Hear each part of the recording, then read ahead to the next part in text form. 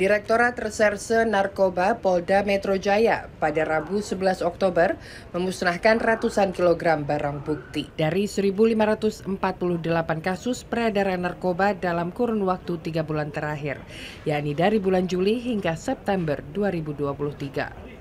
Direktur Narkoba Polda Metro Jaya, Kombes Pol Hengki menyebut dari 1.548 kasus terdapat barang bukti sebanyak 200,67 kg sabu, 279,44 kg ganja, dan 60.800 butir pil ekstasi yang dimusnahkan.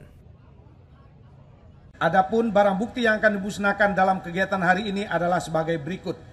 Ganja berjumlah 200,67 kg.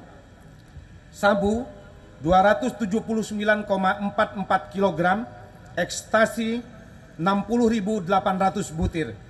Barang bukti dimusnahkan di atas merupakan hasil pengungkapan Dit Narkoba Polda Metro Jaya dan khususnya Satres Narkoba Polres Metro Jakarta Pusat.